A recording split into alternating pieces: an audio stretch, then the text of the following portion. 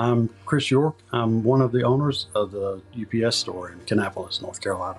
I was born in Gaston County, which is not too far from here. That's where I was raised, went to East Gaston High School. I was in the Army for about three years. I served during Desert Storm. I was with the Patriot Missile Battery. When I left the Army, I came back to Gaston County. That's when I decided to go back to college and got my bachelor's degree in business management. Don't worry about the things you can't control. That's kind of how I live my life. I like to see people smile, and that's one of the things that makes me happy inside. It's just if I can put a smile on somebody's face, then that's what I want to do. They would probably say I'm a goofball, maybe. I'm laid back.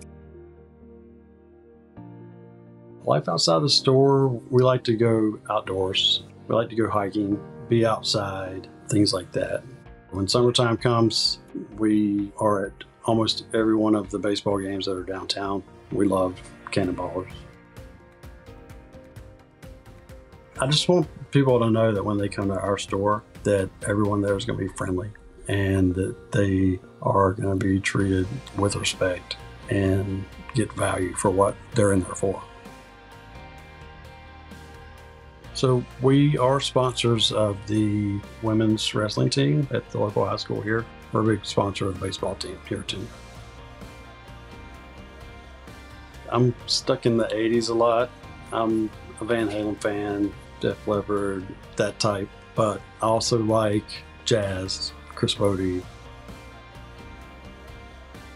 Just to do your due diligence and make sure that you have enough fire inside you to do what you want to do.